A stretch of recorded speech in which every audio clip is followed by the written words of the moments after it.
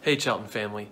Hey, this past Sunday, we made a really exciting announcement that we, as an entire church, are going to accept the invitation to serve as a co sponsorship for a large refugee family who is moving into the area uh, just a few miles away from us. The family has a dad, mom, seven kids, and actually, baby number eight is on the way. And this family is coming to us as refugees from Afghanistan.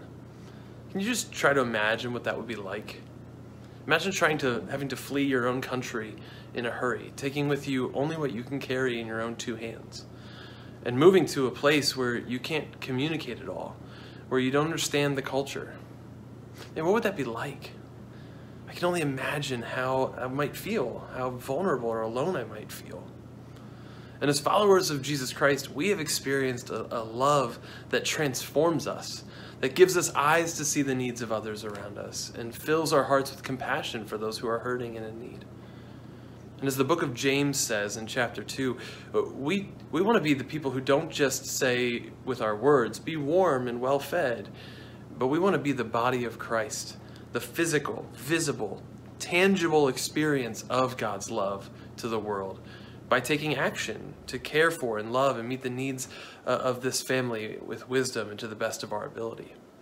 And so, as a church, we are making a six month commitment to come alongside this family to help equip them to live in this area long term, which means we'll be helping to provide some financial assistance, but we're going to put a lot of energy into helping people get acclimated into the culture, learning things like how to use transportation and how to find the right food and groceries and clothing for them, things that are second nature for those of us who were born and raised in this culture.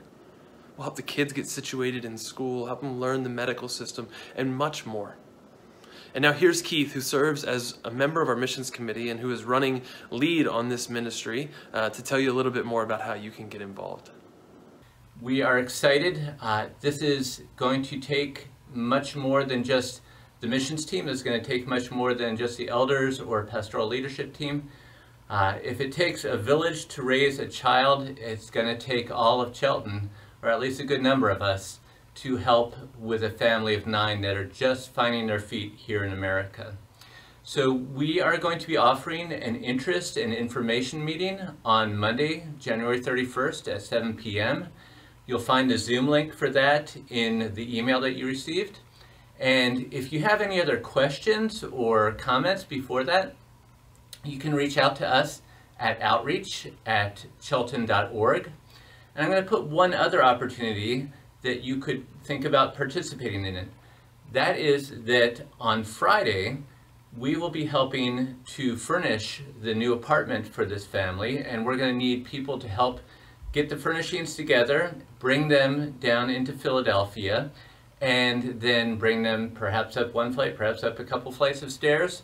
So if you have a strong back, and, and even better, if you actually have a medium or large size pickup that we'd be able to put some furniture in, yeah, again, reach out to outreach at chelten.org, and we'd love to uh, spend some time with you on Friday.